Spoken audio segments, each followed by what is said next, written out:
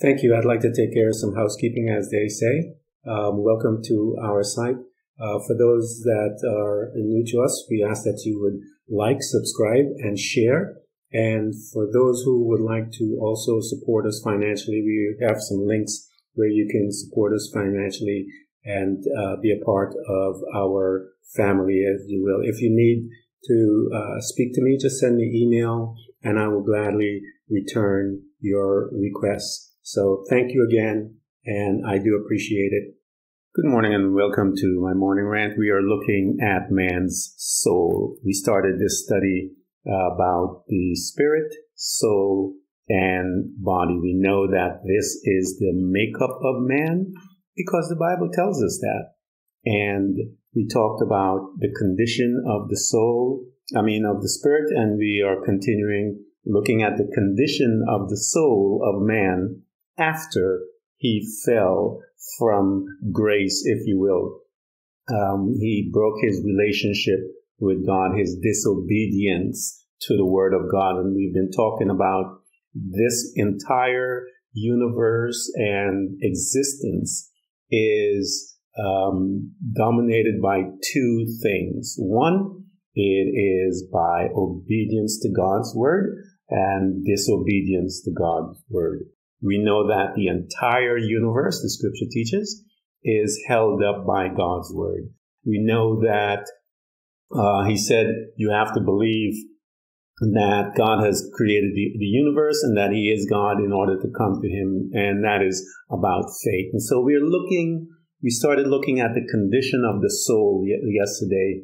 And uh, we noticed a couple of things that um, is in the Word of God. Uh, we saw that Ecclesiastics, uh, I apologize, Ezekiel 18.4, behold, all souls are mine. The soul of the Father as well as the soul of the Son is mine. The soul who sin will die. And that is God declaring to us what happened to us as individuals that when we die, uh, when we commit sin, that that soul shall die. And we know that happened to Adam with, through disobedience of God's word.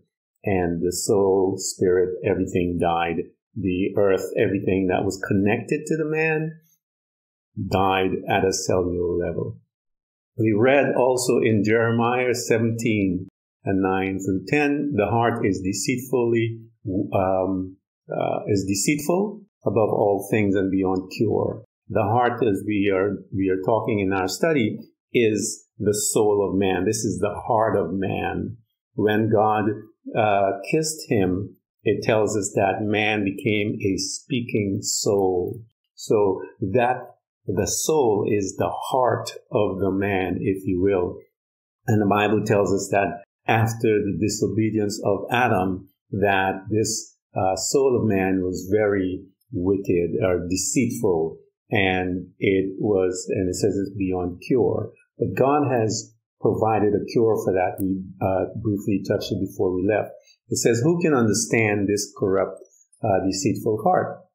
I, the Lord, search the heart and examine the mind.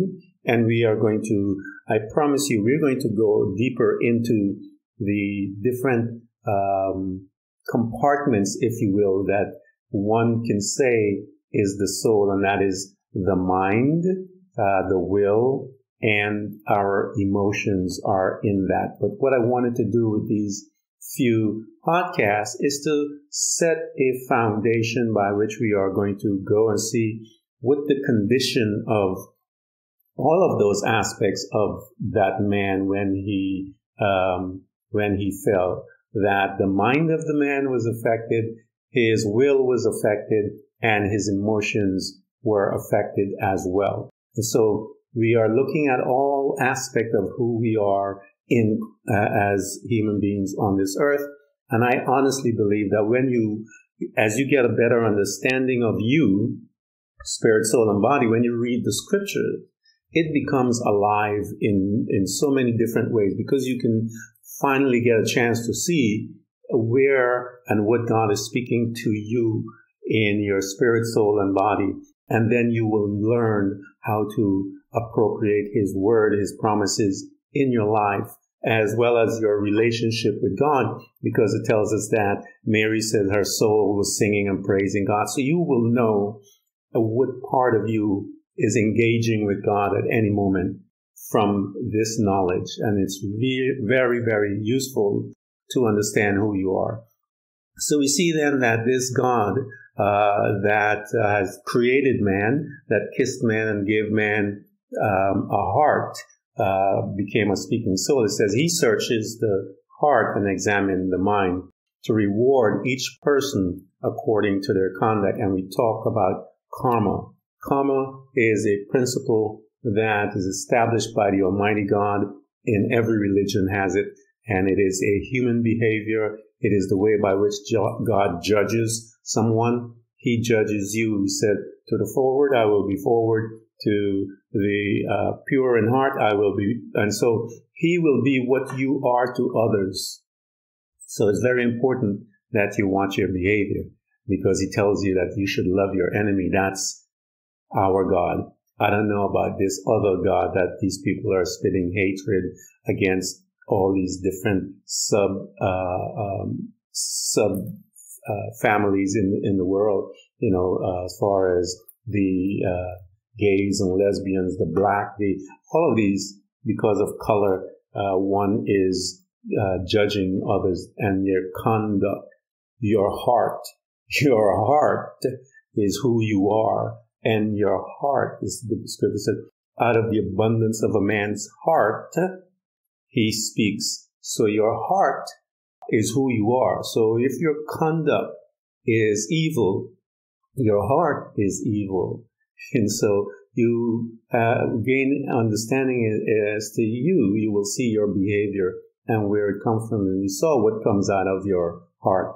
And Genesis 6 5 says, Then the Lord saw that the wickedness of man was great upon the earth, and that every intent of the thoughts of his heart or of his soul were only evil continually. And so we see then that, and we mentioned yesterday briefly, that this was in the time of the Nephilims, and the Nephilims were there corrupting man and um, man uh, and the relationship between them. And that's what God saw this corruptness.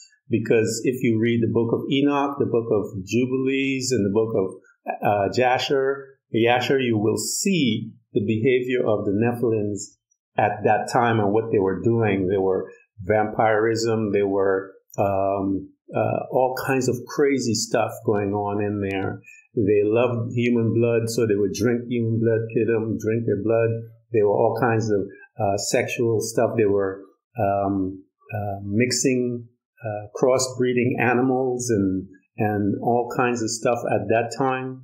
Because you have to remember, the scripture tells us that these guys in the book of Enoch talks that they were disembodied uh, after they got killed because um, the first set of Nephilims, and I've done a study on this, the first set of Nephilims were uh, the Greek referred to them as the Titans, the clash of the Titans. That is a real story. Was um, uh, civil war amongst the first set of um, Nephilims. They were really giants. They were tall as buildings, way be, much taller than um, what we talk about is when we see David and Goliath and stuff like that. These guys were monsters. And so God looks on this and he says, ah, no way. Um, and he says it grieved his heart that he created man and he wiped them out to start all over again because of the wickedness that was great and the intent of their thoughts. They couldn't think of anything good at all. And God said, nah, you have to do something about that. Why? Because it says out of uh, your thoughts in Matthew 15, 19, for out of the heart comes evil thoughts. So then you see then that the, according to Genesis 6, 5, that evil thoughts, it says, and every intent of their thoughts of his heart was evil continually. So what was coming out of his heart? Uh, these evil thoughts were murder, adultery, sexual immorality, theft, false witness, and slander and it goes into much, much more. But those are the stuff that comes out. And Jesus tells, told the church, uh, teachers and preachers at the time, he says, you guys are arguing about the, the stupid things about what you eat and what you don't eat. He said, You have not um, dealt with the weighty things that you ought to be teaching about. And that's why I saw some preacher a few days ago beating on the house of Barbie's house and stuff like that. That man is a false prophet. He's not a, um, a, a teacher of the Word of God because a teacher of the Word of God is not going to waste his time doing that when you have souls that you need to win preaching and dealing with Barbie, ridiculous people. Anyway, so we know that the question that God begins to ask us, he says, what profit is a man that he shall gain the whole world and lose his soul? And that's where we were at yesterday after we left. And then it says, oh, Mark also, um, 836, the same question, for what shall it profit a man if he shall gain the whole world and loses his own soul? And we've been looking at what happens to man when man dies. Job says that when the breath of God leaves, that body is, that spirit of the man goes back to God. We've been looking at that and the soul of man goes to an area based on his, um, his conduct on this earth, as it said in, in the scriptures in Jeremiah 17, 9, that um, you will be rewarded according to your conduct. Your conduct is your um, actions based on the decisions that you made. So Ezekiel tells us in 1820 that the soul who sins shall surely die. So this man is absolutely corrupt. He uh, Romans tells us that he is incapable, okay, of um, of pleasing God because he is corrupt. Because out of this soul can only come uh, um, evil continually. So the man without God, um, that's why religion will not work because out of that man's soul, the part of this man's soul that is corrupt continually. So whatever work he thinks he is doing to appease God is going nowhere. And so many people spend their entire life serving, um, and God says that uh, that means nothing to me. You haven't dealt with your your condition. Your condition has to be dealt with through salvation. You must be born again. And so we're looking then at this corrupt spirit. And the book of Psalms is really uh, some powerful stuff. Psalms 56, 13. For you have delivered my soul from death. Indeed, my feet from stumbling, so that I may walk before God in the light of the living. So one's soul has to be delivered from death. And God has provided a remedy for you and I. Psalms 86, 13, for your loving kindness towards me is great. And you have delivered my soul from the depths of Sheol. And we know that that location is you and I access there by the choices that we make here on this planet. Psalms 116, 8. For you have rescued my soul from death, my eyes from tears, my feet from stumbling. And so we know here from reading these, these Psalms that David had got a revelation about the, um, the different parts of man because he said, uh, renew a right spirit within me what happened that was after he sinned with Bathsheba and the prophet Nathan came and talked to him and showed him uh, he stand uh, that is speaking truth to power. That is why I could never believe why the church um, never went to uh, uh, these presidents, all of them, and tell them you cannot do that to any of those folks that are what we call foreigners or illegal aliens because Jesus Christ was an illegal alien too. And so God is very mindful and how you treat others because that shows your character, your heart. For out of the abundance of man's heart, he will speak, he will act because it is you, your heart.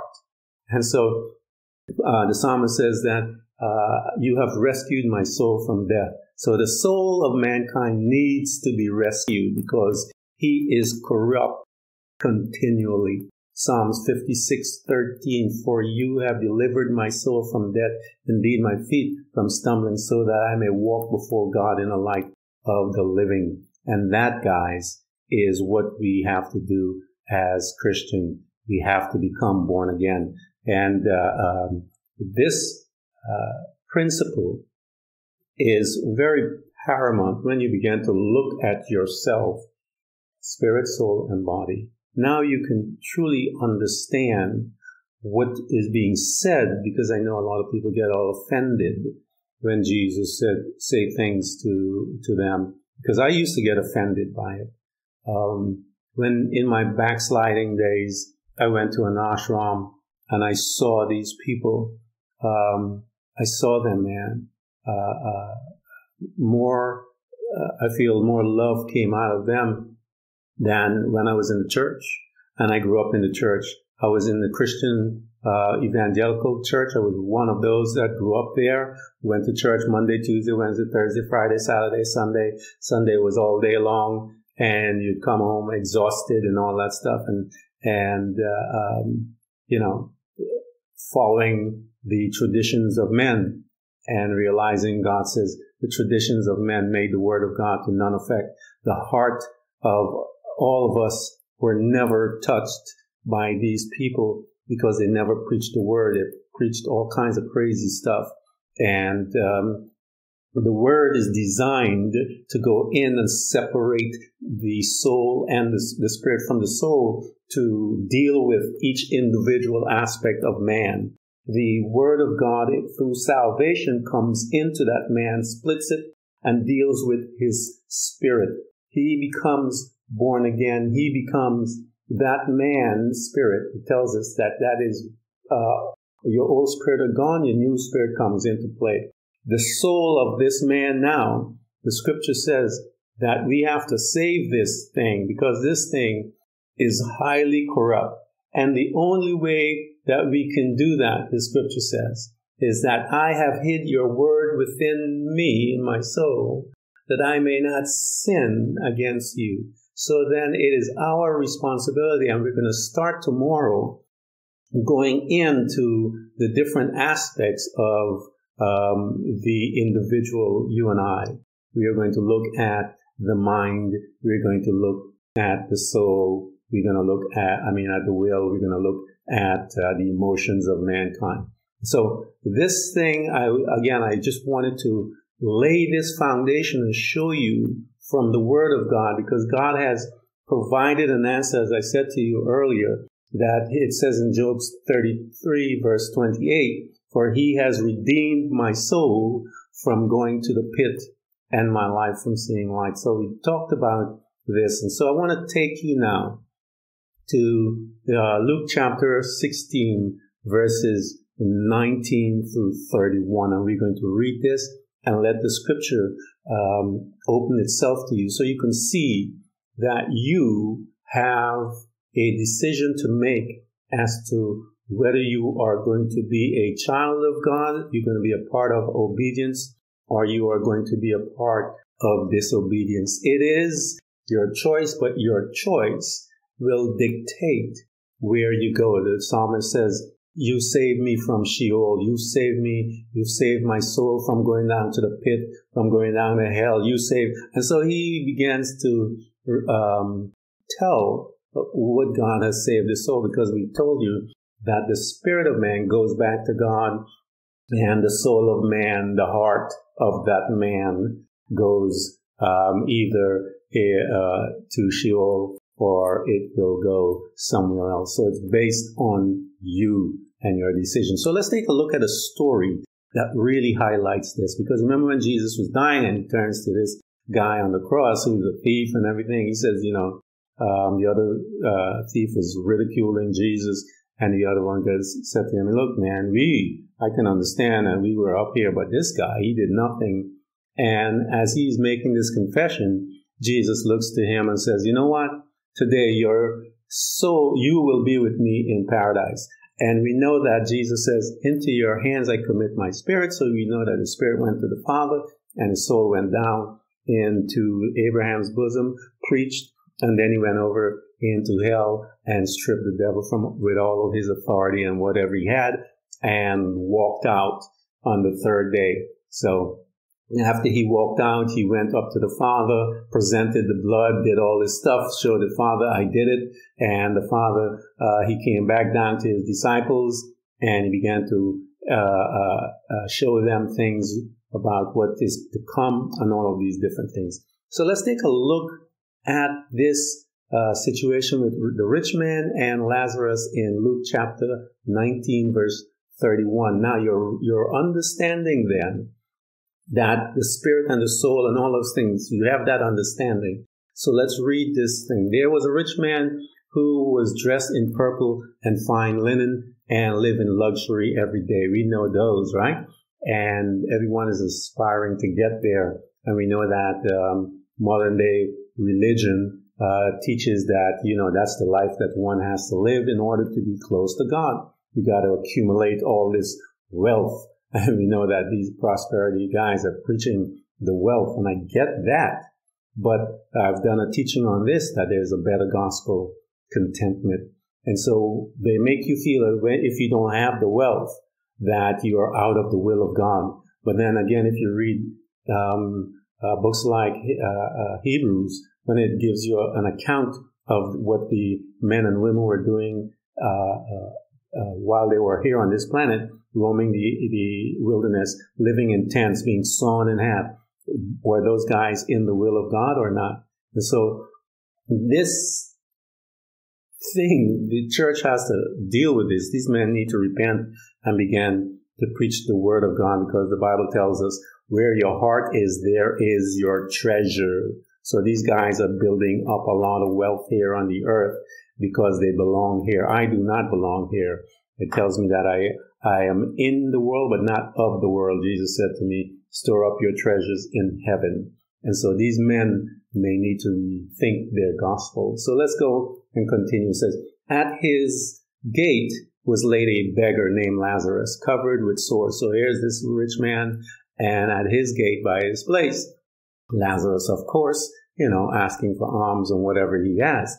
And he's covered with sores and long, longing to eat what fell from the rich man's table. Even the dogs came and licked his sore. That's a horrible um, place to be. That sounds like a homeless person that is seeking help from the rich. And we know we see this today. This is a common story. And the rich is just compiling stuff because their heart is here. You will store up treasures where your heart is. And though their soul wants that, and that's what they're doing. So we see in verse 22, the time came when the beggar died, and the angels carried him to Abraham's side. The rich man also died and was buried. In Hades, Hades, in Hades where he was in torment, he looked up and he saw Abraham far away. So we know that the soul of man has understanding when he's on the other side. He is still aware of things and actually he gained knowledge because he had never seen Abraham in his life. Abraham was uh, thousands of years before, hundreds of years before. So this man had knowledge that Abraham, he saw him, recognized him, and he uh, was able to communicate with him because he was still speaking. He became a speaking soul. So he looked and he saw Abraham far off with Lazarus by his side. So he called to him, Father Abraham, have pity on me and send Lazarus to dip the finger uh, in the water and cool my tongue. So we know that that's place where he is. You guys think you have a problem with heat. Um, your soul will have some problem with heat uh, based on your decisions that you make here on, on earth, and you think you're uncomfortable now. Whoa. Anyway, this heat was made for the angel. It wasn't made for your soul, but because you have sided with them, you're going to go with them. And so, because so you will um, endure their punishment uh, for your disobedience. So we see then that uh, he's begging for water. So we know that there's water there, and that is even torturous that there's water there that you can see it and you can't touch it, uh, but you're on fire, you're burning up. And it tells us that um, that's hell, bro.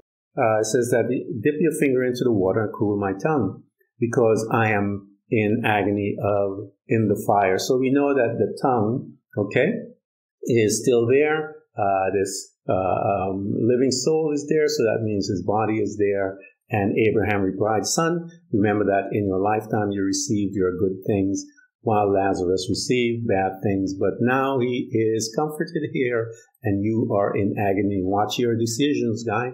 And besides all this, between us and you is a great chasm has been set in place so that those who were want to go uh, from here to there cannot. We can't cross this um, this uh, uh, chasm that is here, and so you're on your own. Can anyone cross over for us? No, no one can. He says. He answered, "Then I beg you, Father, send Lazarus to my family. Raise the dead. Send him up. I have five brothers. Uh, you know, have him go and preach. Let him warn them that they would also not come to this place. How will you not come to this place of torment?